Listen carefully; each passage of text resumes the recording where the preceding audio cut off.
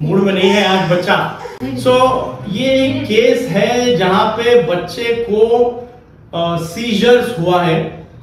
माँ बाप का ये कंसर्न है कि बच्चे को झटके होते हैं और आँख ऊपर चली जाती है और हाथ ऐसे होते होता है और ये 10-15 सेकंड हाँ। 10 सेकंड 15 सेकंड 20 सेकंड रहता है। और ये हमेशा फीवर के साथ ही हुआ है। मतलब अब तक जब भी हुआ है फीवर आया है, तभी ये झटके हुए हैं और 10-15 सेकेंड में चले इसे क्या कहते हैं?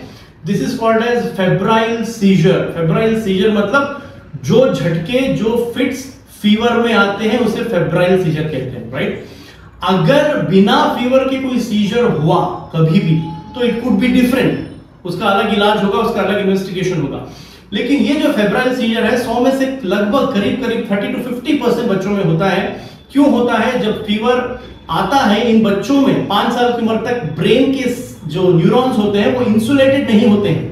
जैसे वायर होती है आपकी इंसुलेटेड होती है तो इनके न्यूरॉन्स इंसुलेशन प्रोसेस चल रहा है जो पाँच साल तक चलता है। सो so, इसीलिए पाँच साल तक जब भी फीवर होगा थर्टी फोर्टी परसेंट बच्चों में ये जो नेकेड न्यूरॉन्स रहेंगे नेकेड ब्रेन के सेल्स रहेंगे वो झटका देंगे। और ऐसे सीजर्स होंगे, ऐसे बच्चा करेगा, ऐसे शेक होगा कभी कभी मुँह से फ्रॉथ आएगा। आपको क्या करना है उस टाइम पे? फ़र्स्ट एंड फॉरमोस्ट घबराना नहीं है पैनिक होने की ज़रूरत नहीं है राइट आपको बेसिकली क्या करना है? बच्चे को सीधी तरफ़ सुला देना है राइट साइड कभी भी उसको सीधा मत सुलाओ बिकॉज़ सेक्रीशंस मुँह से कुछ सलेवा निकलेगा, कुछ भी फ्रॉथ निकलेगा चोकिंग का एस्पिरेशन का रिस्क रहता है। तो एक साइड सुला दीजिए, ताकि वो इधर से निकल जाए। दूसरी चीज़ हाथ में चेन देना, की चेन देना, लोहा देना और डंबल देना, ये सब मत करो। इट्स ऑफ़ नो यूज़ हो एक मिथ है मिसकंसेप्शन है। इससे कुछ नहीं फ़र्क पड़ने वाला। आपको सिर्फ़ बच्चे को पोजीशन देना है।